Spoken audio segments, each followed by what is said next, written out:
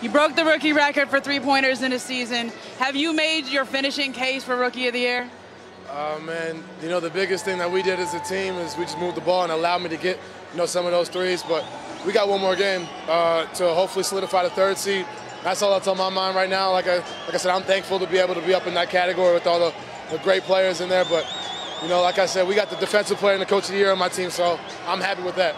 Well, I know you, you, wore a sweatshirt to the game today that had a little different take on that. What, what was the meaning behind that sweatshirt? Uh, man, I'm just having fun with it. You know, uh, after yesterday, I decided to have a little fun. Adidas, you know, helped me out with that. But, um, you know, just letting people know the definition, and that's all it is. Uh, earlier this season, I was out here for a game, and you guys were struggling to score. At some point, you turned this around, and now you're one of the more dangerous teams coming into the playoffs.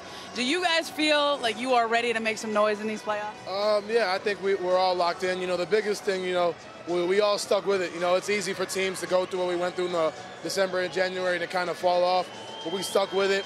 You know, everybody came into their own. Ricky, Ricky's been playing out of his mind for his first playoffs.